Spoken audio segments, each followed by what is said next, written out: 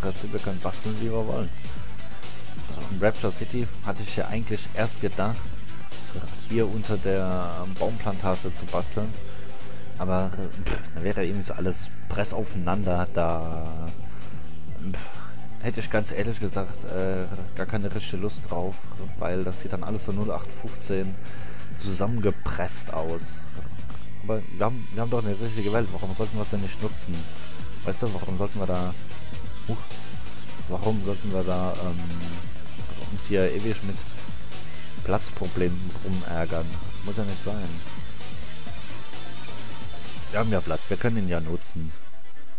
So, jetzt haben wir zwei Höhlen direkt hintereinander. Das wird natürlich cool, wenn man da uh, mit Minenkarren durchfährt nachher und überall so an, an dem Monster dann vorbei rauscht und alles. Dürfte ziemlich cool werden. Rapture City muss ich dann mal gucken, wie wir das richtig ausleuchten können dann alles. Ähm, wird eine ganze Menge an Ressourcen verbrauchen. Ich glaube, Rapture City werden wir auch niemals fertigstellen, weil es immer irgendwas zu basteln gibt. Ähm, ich glaube, ich werde es auch so machen, wie ich das vorhin gesagt habe, dass wir das einfach mal stückweise anfangen und dann immer Stück für Stück äh, erweitern, ausbauen, ergänzen. Weil ganz ehrlich, das jetzt auf einmal dahin zu klatschen, das ist alleine fast unstemmbar. Da würde ich, äh, keine Ahnung, ich glaube 100 Folgen oder noch länger sogar brauchen, äh, nur um das ganze Ding einmal zuzuschütten, ähm, dass äh, kein Wasser mehr drin ist für, für die Baufläche in das... Äh, pff, nee, da würdest du kaputt gehen. Das würde ich niemals fertig kriegen. Da könnte ich jede Folge eine Stunde schneiden, weil du müsstest dann, bis du einmal runtergetaucht bist. Gut, man kann sich überall mal Brücken bauen mit äh, Unterwasser-Luftstationen und so eine Sachen. Das geht alles. Aber, boah, nee, immer sind nochmal äh, Taschen leer, dann musst du ständig Erde holen. Dann musst du wieder da Erde klatschen gehen und alles.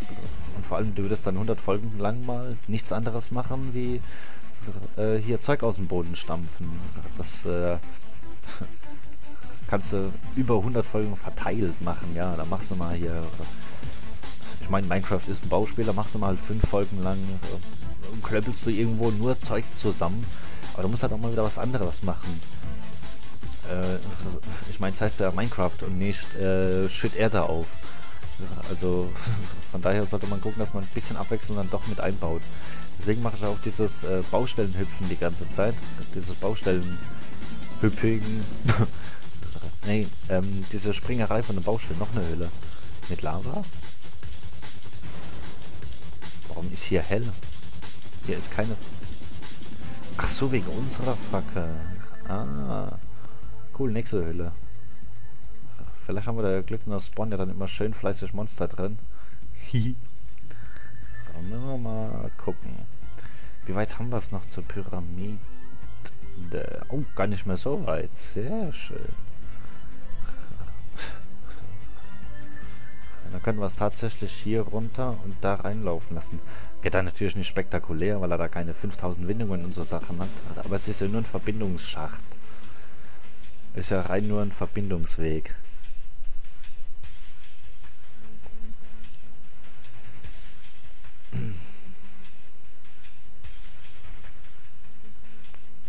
Ja, mit dem Glas wäre schon eine feine Sache gewesen, wenn das auf, äh, wenn Schienen auf Glas gegangen wäre. Aber leider, ja, Gut, aber ist Minecraft ist ja doch, muss man schon fairerweise sagen, äh, sehr viel auf Logik äh, aufgebaut. Gerade wenn du mal anguckst, wie du deine Werkzeuge craften kannst und so eine Sachen. Ähm, ich kann schon nachvollziehen irgendwo, irgendwo, dass er das nicht einbaut, dass Maschinen auf Glas setzen kann, weil Glas kann ja nie im Leben so viel tragen. Das äh, ist eigentlich ein Ding der Unmöglichkeit. Also von daher Aber gut, okay. Schön wäre das auf jeden Fall gewesen. Da könntest du richtig geile Bauten aus dem Boden stampfen. Aber okay. Wir haben noch andere Chancen, andere Möglichkeiten, wie wir das Ganze basteln können. Werden wir einfach mal gucken, wie wir das zusammenklatschen dann. So. Ein Stückchen haben wir noch zur Pyramide. Oder das kriegen wir auch noch zusammengeklöppelt hier irgendwie. Vor allem, wenn ich mit der, weiter anfange, mit der Schaufel Steine rauszuhauen.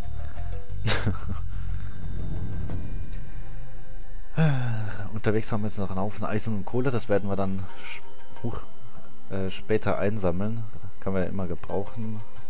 Oh, ich sammle gar nichts mehr auf, weil ich voll bin hier. Warte mal, dann machen wir das mal so. Dann haue ich das Glas gerade noch mal rein.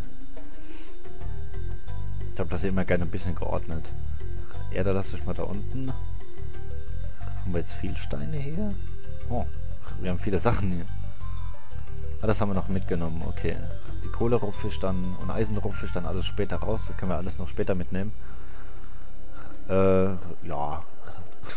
haben wir ja noch ein bisschen Zeit, eilt ja nicht. So, jetzt müssen wir dann mal gucken. Achso, ich müsste eben mal gucken, ob das die richtige Höhe überhaupt ist. Aber das könnten wir ja als äh, Verbindungsgang in die Pyramide rein.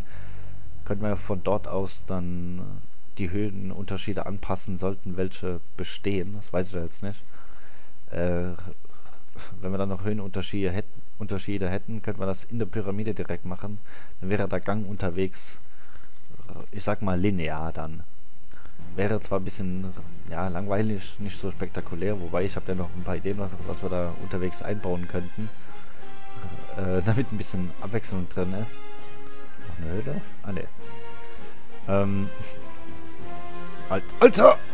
Oh, bin ich jetzt erschrocken. Alter. Alter. Das kommt davon, wenn man die Sounds ausstellt. Alter, bin ich jetzt erschrocken. Scheiße, ich krieg das nicht zugebaut. Hä? Warum ist da Lava drunter? Vor allem, wo kommt die her? Okay, da ist noch nichts. Ich muss gucken, dass ich die irgendwie hoch zugebaut kriege hier. Alter, bin ich jetzt erschrocken. Ach, da. Problem ist, die Lava ist jetzt statisch.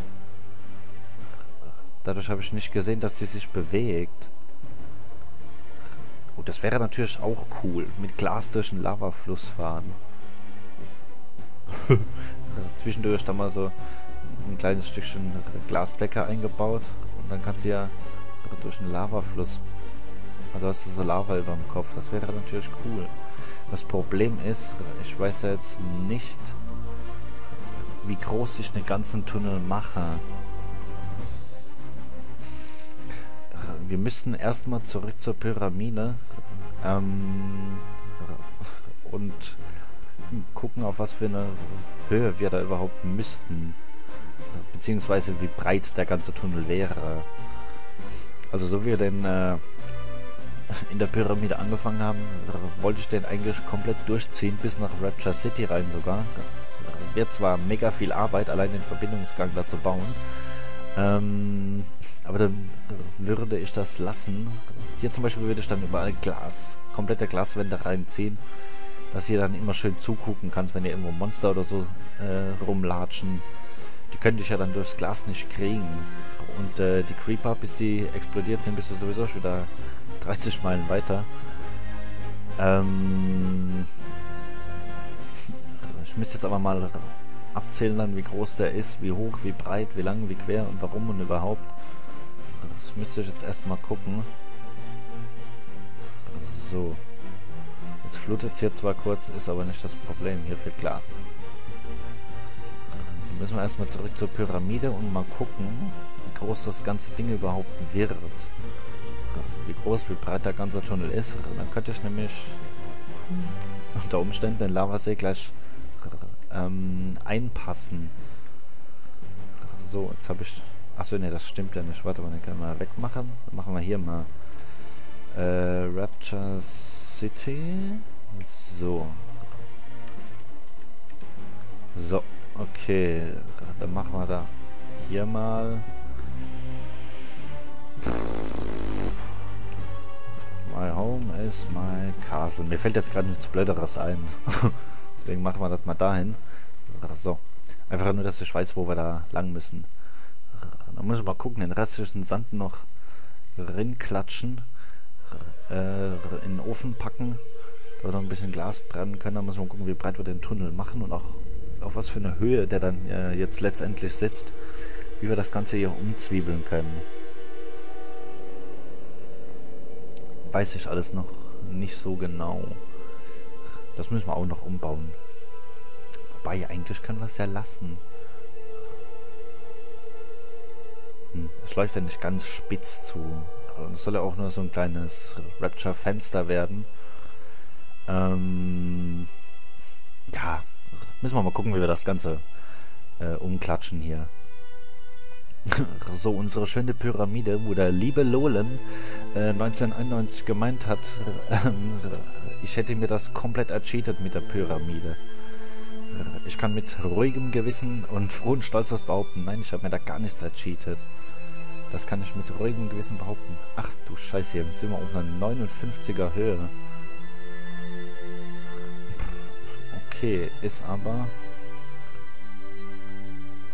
Ist eigentlich kein Problem. Den Höhenunterschied können wir ja anpassen. Das weiß ich gar nicht. Kann man auf Treppenschienen bauen?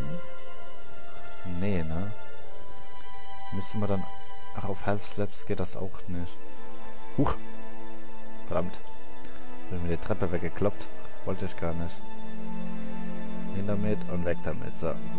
Noch im Creative Mode. ähm. Ist natürlich doof jetzt.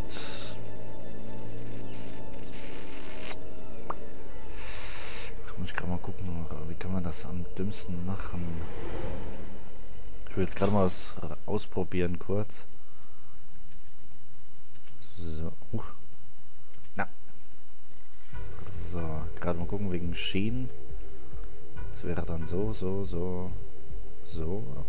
Die verbinden sich dann. Okay. Ist halt blöd, weil du ja dann hohl hast. Das sieht dann halt doof aus. Ich meine, mit dem Minenkarren, mit dem Kinnkarren natürlich. mit dem Minenkarren, das würde funktionieren. Es sieht dann aber blöd aus, weil dann halt immer unten drunter leer ist. Was jetzt natürlich aber auch nicht so mega tragisch wäre, weil ähm, das würde dann einfach hier anfangen und nach ein paar Blöcken direkt dann noch 10 Ebenen runtergehen. 10 waren das, ne? Drüben sind wir auf 49. Okay. Gut. Dann werden wir da einfach noch 10 Ebenen runtergehen und hier anfangen. Allerdings muss ich dann noch gucken, wie ich hier so einen kleinen Bahnsteig rinklöppe. Respektive würde ich das dann direkt hier anfangen lassen. Da könnten wir hier äh, die Wand nämlich schön weiterführen. In die Richtung können wir dann auch noch was kloppen. Da würde ich nämlich noch so ähm, aus Schnee was, was ganz Kleines reinbauen. Gerade so ein kleines Hütchen oder so aus äh, Schneeblöcken. Eis können wir ja leider nicht selbst äh, craften. Das könnte man dann nur mittels Behutsamkeitsspitzhacke raushauen. Müsste aber noch gucken, wie wir das umsetzen. So. Der Tunnel sitzt ja... Äh, warte mal, wie haben wir den gegraben? So, und dann ungefähr da in die Richtung etwa. Das heißt, ja, von der Rechnung würde es passen. Da müssen wir dann nur gucken, dass wir uns irgendwo in der Mitte dann treffen auch. Ähm, 1, 2, 3, 4, 5, 6, 7, 8 und 9 mit der Wand. Okay, 8 und 9 mit der Wand. Hm. Wäre ja schon ziemlich breit dann. Aber gut, hier würde ich dann im Prinzip genauso bauen, auch mit zwei Schienen, eine für hin. Und wenn du dort bist, gerade Minenkarren hingeklatscht und zurückgefahren, da würde ich dann Dispenser noch äh, füttern, die dann da fleißig Sachen rausspucken, dass wir da weiterkommen dann. Müssen wir noch gucken, wie wir das machen hier. So, die Reihe kann ich ja lassen und hier unten ja auch, weil da ja Treppen hinkommen. Genau, ich muss ja dann nur das raushauen. So, dann kann ich gerade mal die Seitenwände machen. Äh, warum habe ich denn nur eine? Achso, ich habe nur eine rausgehauen, okay.